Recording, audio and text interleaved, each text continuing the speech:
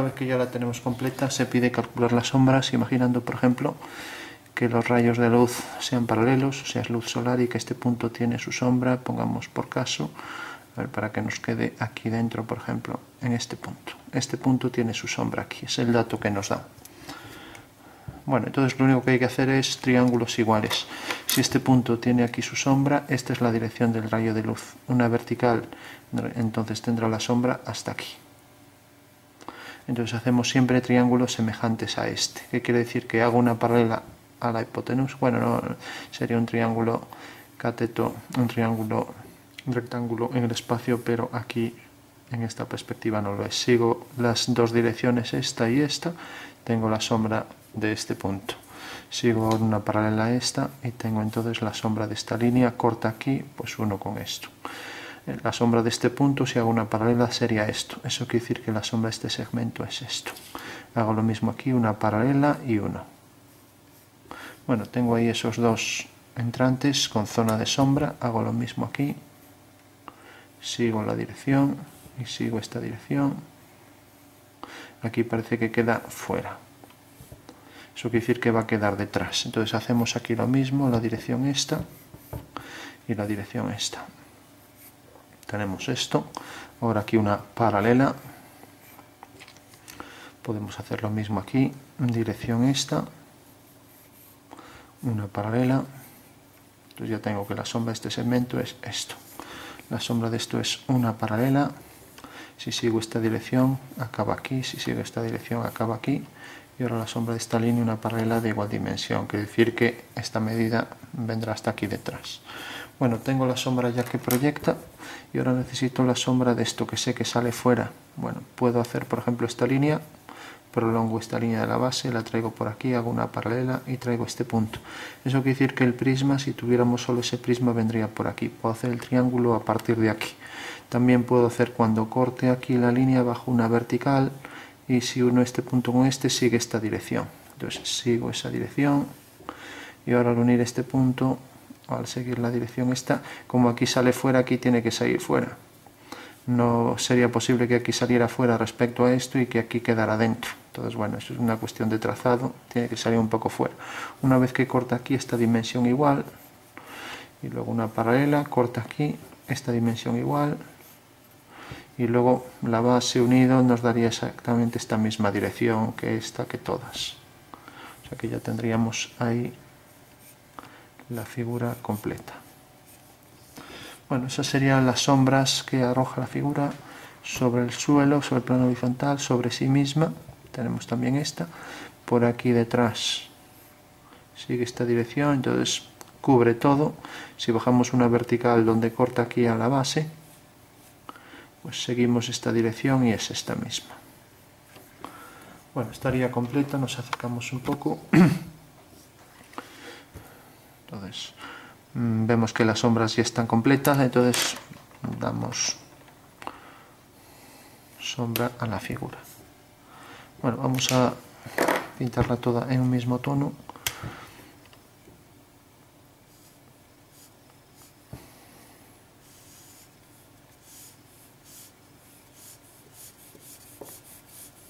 la pieza es toda verde entonces lleva todo el mismo tono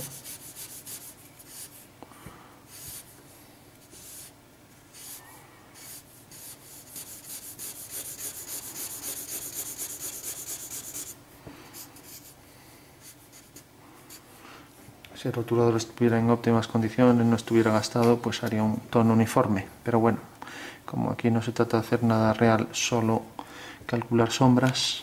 Bueno, pues decíamos, tenemos entonces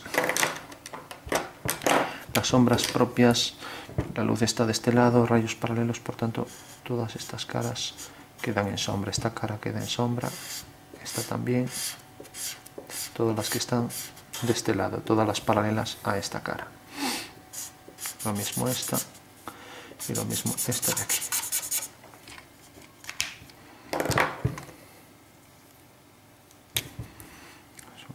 con esto, por ejemplo.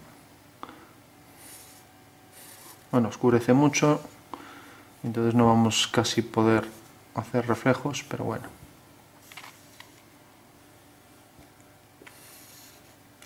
y vamos a calcular en este ejercicio lo que son los reflejos. Entonces, hasta ahora tenemos las caras en sombra.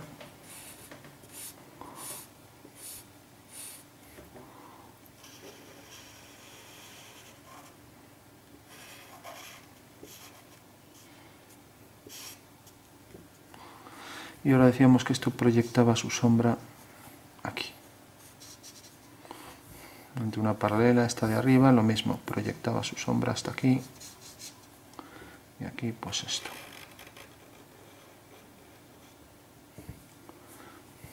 y igual.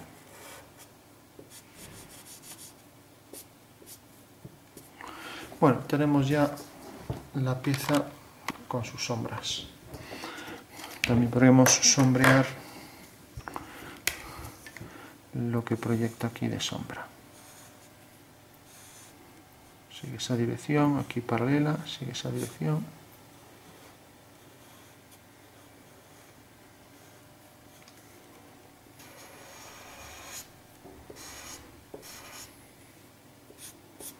Bueno, esas serían las sombras que proyecta sobre el suelo. Ahora vamos a ver qué realmente lo que se refleja.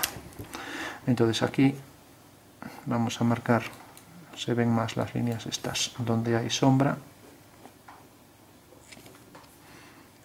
Incidimos bien en las líneas por ahí por la zona de sombra. Bueno, esta línea no debió continuar hasta el final. Bueno, entonces tenemos esta arista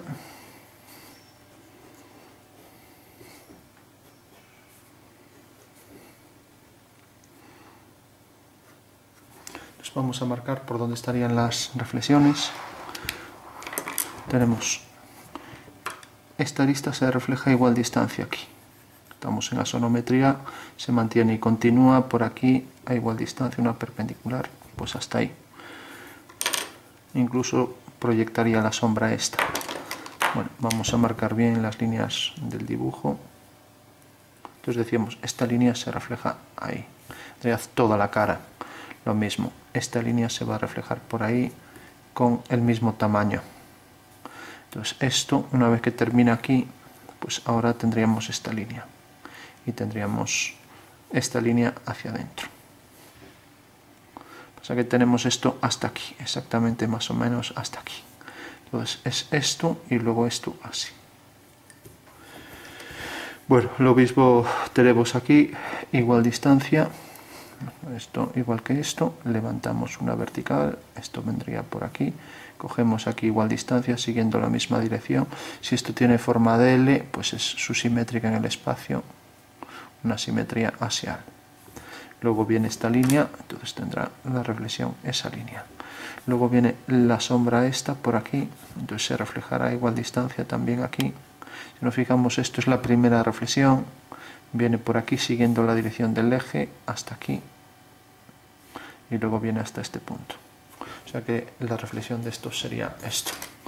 Pero esta es la primera reflexión y esto se refleja debajo porque esto está reflejando sobre esta cara. Eso quiere decir que por aquí debajo se tendría que reflejar. Pues igual, con la misma medida. Lo que pasa es que sobre la luz apenas se ve, entonces cogemos esta medida y marcamos ahí por donde vendría, así.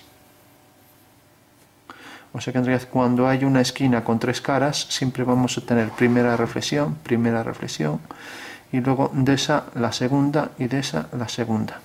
Eso quiere decir que esto también se reflejará por debajo y si aquí hay una L y se duplica, aquí debajo hay otra que se duplica, que viene por aquí, por aquí.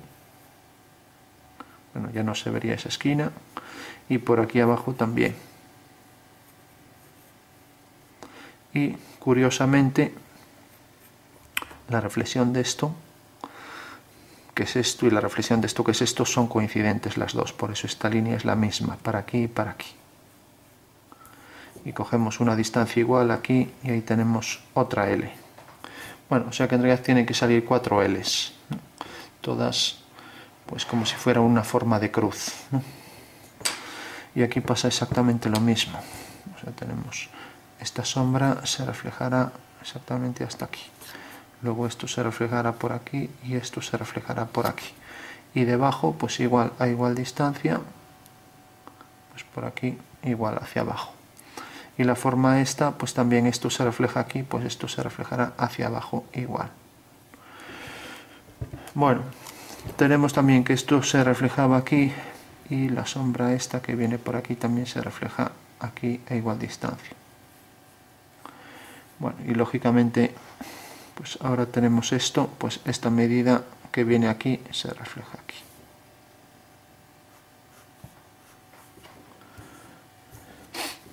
esto que sale de aquí es la sombra que proyecta esta cara también en forma de L pues también. Una perpendicular siguiendo la dirección esta del eje cae aquí. Entonces su reflexión es también su simétrico es esto su reflexión es esto. El simétrico de este punto es este. Una distancia igual en una perpendicular. Una perpendicular es la dirección del eje este. Entonces igual distancia aquí y a partir de aquí pues igual igual distancia allí igual y aquí. Bueno pues toda esa es zona que se tendría que proyectar. Toda la reflexión toda esa oscuridad aquí reflejada sobre esta cara.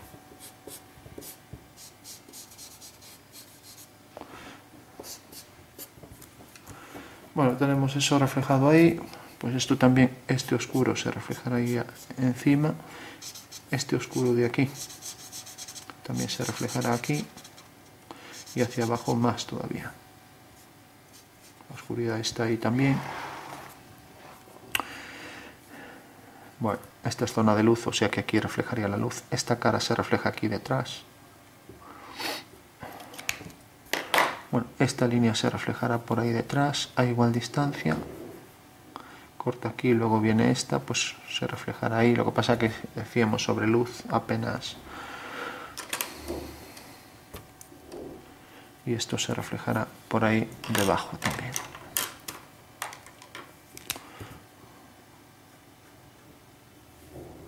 Lo mismo por aquí, pero bueno, sobre luz tampoco aparecería. Igual que esto también, que sobre luz tampoco aparecería esto se reflejaba, esto también, bueno, prácticamente están puestos todos los reflejos. Hay que pensar que cuando hay tres caras que se cortan en ángulo recto, aunque no se cortaran en ángulo recto, también habría una simetría radial, pues aquí es igual. Esta forma, este rombo se tiene que extender todo por aquí. Y sobre la sombra lo marcamos más. La forma de L también aquí debajo, pues igual. Esto lo podemos prolongar esa forma bueno sería más grande sería más grande. Y luego hacia abajo. Y aquí exactamente igual. Decíamos teníamos este oscuro que se proyecta y se refleja ahí. Esto que se refleja aquí en el suelo. Y luego teníamos esto con luz eso sería con luz. Y esto también con luz aquí sí que esto se refleja ahí aunque sea luz vamos a poner un poco más de también aquí por ejemplo más bien sería al revés eh, solemos poner aquí más luz como haciendo ver que esto se refleja aquí.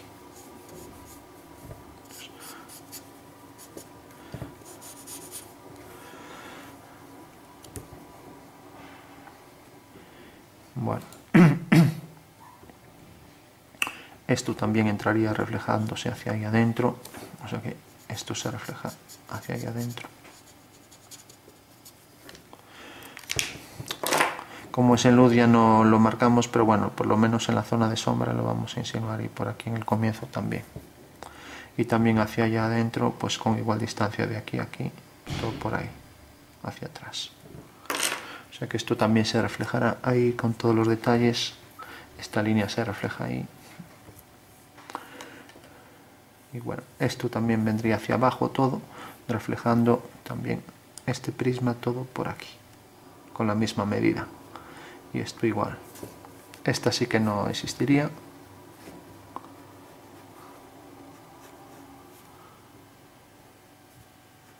Bueno pues sin afán de hacer nada realista simplemente un método para calcular múltiples reflexiones. Como es fácil olvidarse mm, reflexiones en este tipo de ejercicios yo propongo dos cosas. Uno, cuando tiene, una, cuando tiene tres caras, en realidad lo va a duplicar de esta manera. Primera, primera. O sea que esta es una primera reflexión, esta también. Y luego esta es reflexión de la reflexión. Tanto de esta cara como de esta sobre eso. Entonces tenemos ahí siempre una simetría central respecto a este punto. O sea que el simétrico de este punto es este respecto a este centro, si está bien dibujado. Aquí abajo quedaría, etcétera. Bueno, por último revisar, por ejemplo, esta forma tiene que duplicarse hacia ahí, esta hacia abajo, también la marcamos más, la zona esta ya no entraría, esto hacia allá, la luz esta se tendría que reflejar ahí adentro, esta arista que aquí no se refleja sobre este plano, sí se refleja sobre el reflejo de este, o sea que es esta. Lo mismo pasa aquí con todas, con las cuatro, ¿no? Tendríamos aquí el rombo, etcétera aquí también la reflexión de esto. Y aquí igual la continuación del prisma y la continuación de este hasta aquí y por aquí. Reflexión de esto y de esto. Con lo cual podríamos poner ahí más zona de sombra de donde sale y más zona en la reflexión. Como aquí también. Bueno como el oscuro también se pierde pues siempre conviene pues incidir sobre todo en los que tienen más intensidad.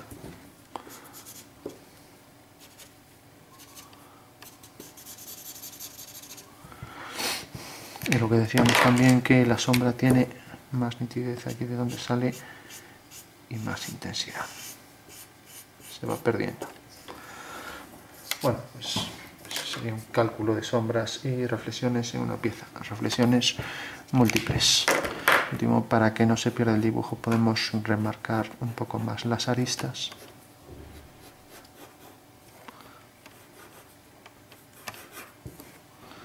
Sobre todo las que no se ven mucho.